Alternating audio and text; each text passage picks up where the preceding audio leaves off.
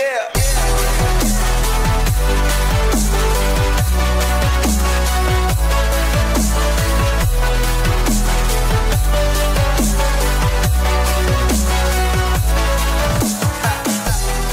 Hello guys welcome to the एस्ट news series जिसमें आपको देता हूँ हॉलीवुड और सोबेरो मूवीज़ और सोबेरो टीवी सीरीज़ से रिलेटेड सारे न्यूज़ तो आज भी मैं आपके लिए मार्वल डीसी और कहीं ऑसम हॉलीवुड मूवीज़ से रिलेटेड कहीं ऑसम न्यूज़ लेकर आया हूँ। पर उससे पहले आप अपने प्यार और सपोर्ट के साथ इस वीडियो को भी लाइक एम पूरा कर देना।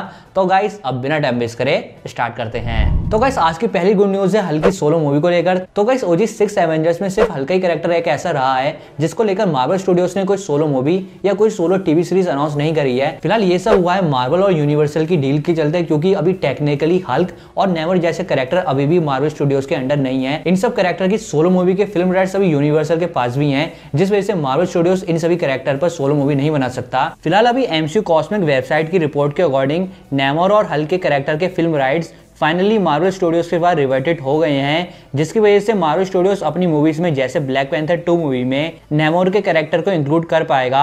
यही नहीं, इसी वजह से मार्वल ने सडनली सी हल्की डिजनी प्लस सीरीज़ को अनाउंस करा है। जिसके अकॉर्डिंग ऐसा माना जा सकता है कि अब फुल फ्रीडम होने की वजह से मार्वल स्टूडियोज हल्की सोलो मूवी पर भी वर्क कर सकता है। वैसे इससे पहले हल्क एक्टर मार्क रफेलो ने हल्क वर्सेस बुलवरीन मूवी के लिए इंटरेस्ट दिखाया था। तो गाइस अब देखते हैं कि केविन फाइगी ने हल्क फ्यूचर के लिए क्या सोच रखा है। अगली न्यूज़ है ब्लैक एडम मूवी को लेकर। तो गाइस डीसी यूनिवर्स में सजैम के डेब्यू होने के बाद सभी फैंस ब्लैक एडम का डीसी यूनिवर्स में वेट कर रहे हैं। क्योंकि डीसी यूनिवर्स में Dwayne the Rock Johnson Black Adam का रोल प्ले करेंगे। फ़िलहाल अभी हाल ही में ब्लैक एडम मूवी को लेकर एक्टर डुएन जॉनसन ने दो अपडेट दी है, जिसमें फ़र्स्ट ये अपडेट है कि ब्लैक एडम मूवी की शूटिंग इस समर से स्टार्ट होने वाली है।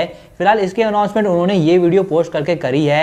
यही नहीं इसी के साथ ही ड्वेन जॉनसन ने अपने इंस्टाग्राम हैंडल पर ये दो वर्कआउट इमेज भी शेयर करी हैं, जिसमें उन्होंने कैप्शन दिया है new era DC universe Black Adam फ़िलहाल ड्वेन जॉनसन ने इस मूवी को लेकर ऐसा भी बोला है कि ये सुपर हीरो मूवी हमेशा के लिए सुपर हीरो मूवी जॉनर को चेंज कर देगी। तो गाइस मेरी तो इस मूवी से बहुत ही ज़्यादा होप है। आपकी क्या होप है, ये आप मुझे कमेंट करके ज़रूर बताना। तो बढ़ते हैं अगली न्यूज़ की तरफ़। अगली न्यूज़ है एमसीयू में क्विक सिल्वर को रिटर्न को लेकर। वैसे गाइस अभी तो वांडा टीवी सीरीज़ में क्विक सिल्वर का रिटर्न तो पूरी तरह से पॉसिबल नहीं है, लेकिन इस टीवी सीरीज़ में क्विक सिल्वर को लेकर कुछ ना कुछ ज़रूर दिखाया जा सकता है, जिसको लेकर अभी कुछ अपडेट आई है। डेनियल रिचमैंड की एक अपडेट के अकॉर्डिंग अभी हाल ही में उन्हें वॉन्डर विजन की किड्स की कास्टिंग का ऑडिशन टेप मिला था, जिसमें वांडा विजन के किड्स विकन और स्पीड किसी अंकल को मेंशन कर रहे थे। अब वांडा के ब्रदर क्विक सिल्वर ही वांडा के किड्स का अंकल हो सकता है, जिसके अकॉर्डिंग ये कंफर्म ज़रूर है कि इस टीवी सीरीज़ में क्विक सिल्वर को रिटर्न लाया जाएगा, या उससे रिलेटेड कम से कम कुछ तो हिंट दिया ज़रूर जाएगा। वैसे इसके बाद एक और बात ये कंफर्म हो गई है कि इस टीवी सीरीज़ में वांडा विजन के किड्स विकन और स्पीड अपियर होंगे।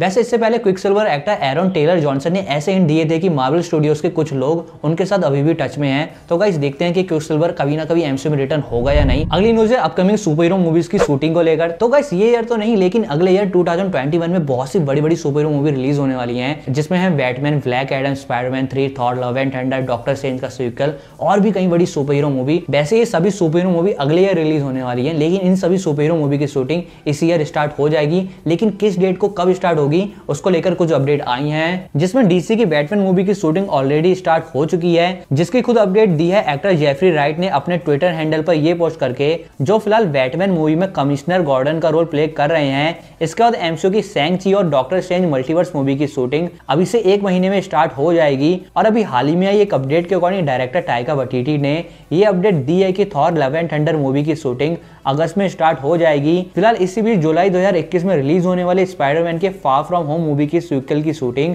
इसी ईयर समर में स्टार्ट हो जाएगी। वैसे गाइस अगला ईयर तो बहुत ही ज़्यादा गर्मा गर्म होने वाला है और ऐसा लग रहा है कि सभी सुबेरो फ़ैन को थोड़ा सा लोन लेना होगा, क्योंकि अगले ईयर मार्वल और डीसी मिलकर सात मूवी रिलीज़ करने वाले हैं और अगर इनमें डिजनी प्लस की टीवी सीरीज़ और डीसी की टीवी सीरीज़ को ऐड कर दिया जाए तो इतना ढेर सारा कंटेंट अगले ईयर रिलीज़ होने वाला है कि अगले साल हम बहुत ही ज़्यादा बिज़ी होने वाले हैं। अब अगली कुछ न्यूज़ है अदर हॉलीवुड प्रोजेक्ट को लेकर। सो कल छह जनवरी को द न्यू मेटेंट मूवी का न्यू ट्रेलर रिलीज़ होने वाला है। जिससे पहले ये अपडेट आई है कि new mutants movie PG thirteen rating में रिलीज़ होगी। वैसे ये मूवी पहले भी फॉक्स के अंडर कभी आर रेटेड रेटिंग में रिलीज़ होने वाली नहीं थी। इसके अलावा अभी हाल ही में रिलीज़ होने वाले PS5 को लेकर ये रूमर न्यूज़ आई है कि PS5 पिछले PS वर्जन के साथ ही कंपेटेबल होगा। यही नहीं, अभी हॉलीवुड के राइटर डायरेक्टर केविन स्मिथ ने ऐसे एंड दिए हैं कि वो मॉल रेट्स मूवी के सीक्वल पर वर्क कर रहे हैं। तो गाइस इस तरह से यही थी आज की सभी न्यूज़ और इन्फॉर्मेशन आई होप आपको आज की सभी न्यूज़ पसंद आई होगी।